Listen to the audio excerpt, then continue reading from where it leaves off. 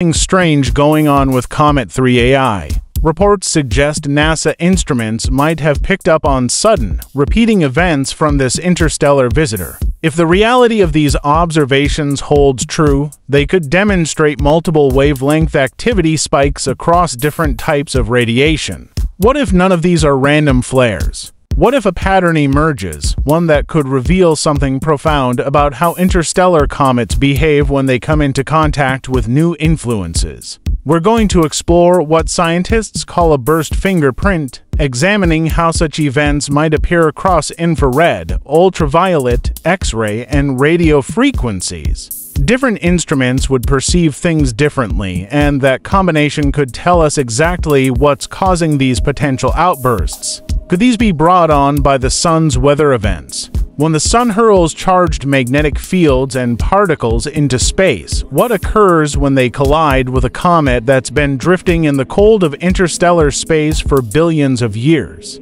Will determine whether any pattern might match a rotating model, like a lighthouse. Imagine gas jets and dust sweeping past us as the comet spins, creating regular pulses of activity. Everything we talk about stays based on actual physics, wild, not claims. No science fiction, just the real mystery of what takes place when an ancient wanderer from another star system receives heat from the sun for possibly the first time in eons. If the data truly contains a fingerprint, it points to a physical cause we can understand and test. The question is, what narrative will that fingerprint provide us? So, if these bursts that have been reported are real, they wouldn't just show up as simple changes. Genuine outbursts of comets create all-encompassing signatures across the electromagnetic spectrum. And that's where things get interesting. If you adore this straightforward approach to space mysteries, tap subscribe. It really helps support content like this. Think of it as comparing the cosmos to a crime scene. Each wavelength of light tells a different part of the story. In infrared, we'd anticipate the absorption of carbon dioxide lines suddenly brightening when trapped CO ice vents rapidly from deep within the comet at specific infrared absorption wavelengths. The James Webb Space Telescope would be perfect for catching this. It's designed to spot exactly these kinds of molecular signatures.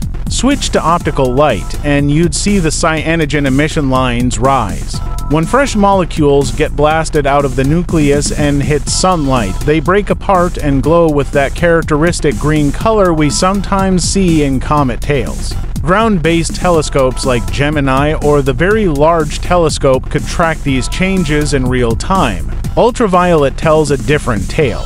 Solar UV light causes intense photochemistry during outbursts, separating organic matter from water molecules. The Hubble Space Telescope's UV capabilities would reveal this molecular destruction happening live. Here's where it gets really intriguing. X-rays. When solar wind particles collide with neutral gas from a comet, they swap electrons through a process known as charge exchange. Consequently, X-rays are released that space-based observatories like SWIFT can recognize. Charge exchange X-rays occur when solar wind ions grab electrons from cometary gas, releasing them as X-ray energy. Finally, radio telescopes might catch the 18 cm line getting stronger, the radiomolecular signature of hydroxyl, water that has been broken apart. When sunlight breaks down water vapor, it results in O radicals that release energy at this particular radio frequency. The 18 cm line serves as a radio guide, showing us where water is being destroyed. A coherent fingerprint across all these bands wouldn't be random. It would point to a real physical mechanism driving the outburst. Different processes create different patterns. Therefore, the combination acts like a diagnostic tool. Here's the big idea. If there are bursts, they leave traces throughout the electromagnetic spectrum. When infrared, optical, X-ray, and radio signatures jump together in a coordinated way, that is not an accident. That's the comet breathing and exhaling, releasing stored energy in a way we can measure and understand. We can test this hypothesis like detectives, checking each wavelength, band by band, spectral line by line. The appeal lies in the variety of ways we could see various components of the puzzle. Together, they would precisely inform us what is transpiring within this ancient visitor from another star. If the timing of fingerprints coincides with solar patterns of behavior, we'd have a smoking gun for what's triggering these potential events, solar weather as the hidden switch. What would happen if the key to comprehending these potential explosions was not the comet itself, but rather what's going on with our sun?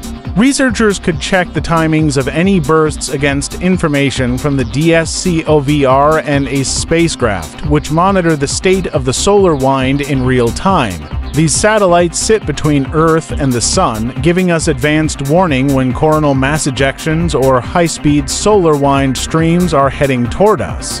If a comet explosion followed the arrival of a CME by a few hours or days, that would be a clear physical trigger we could test and verify.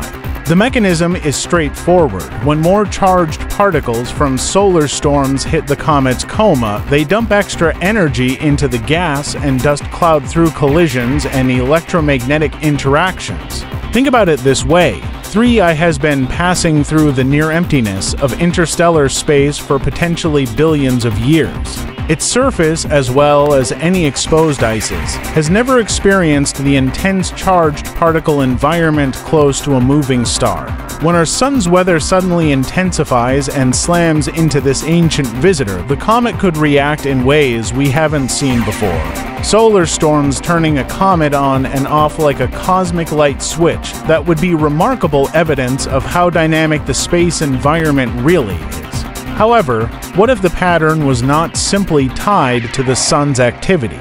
What if there was something even more clockwork about these possible occurrences? This is where the rotational lighthouse model comes in. If more than one burst occurred at frequent intervals, it might indicate something rotation locked, suggesting that the events are directly related to the comet's rotation. Picture a rotating lawn sprinkler. Each time the water jet sweeps past your position, you get soaked. Then there's a gap until the next rotation brings the jet around again. A comet with active vents on its surface would work the same way.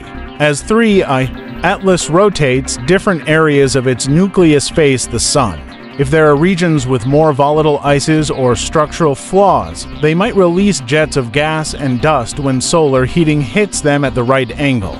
From our perspective on Earth, we would see these jets once per rotation, a repeating period.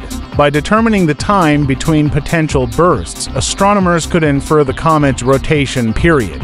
Maybe it rotates once every 3 days or every 12 hours, or at some other period we haven't yet pinned down. The real test would be determining whether the multi-wavelength fingerprint we discussed earlier repeats in phase with this timing. If the infrared CO spike, the optical cyanogen emission, and the radioline glow all strengthen together on a regular basis, that would strongly suggest jets anchored to stable surface vents rotating with the nucleus. Locked rotation means these aren't just random events, they're tied to the comet's spin, dependable and measurable. And here's the crucial follow-up inquiry. If material is being pushed away by jets in preferential directions as the comet rotates, that should create a tiny rocket-like effect.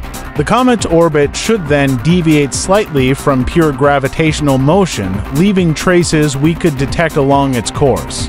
If these bursts are real and connected to rotating jets, they should leave a signature in 3I's trajectory itself. Astronomers track this using what are called the A1, A2, and A3 parameters, mathematical terms that describe how objects are pushed by jet thrust in three directions radially away from the Sun, tangentially in the orbital plane, and perpendicular to the orbital plane.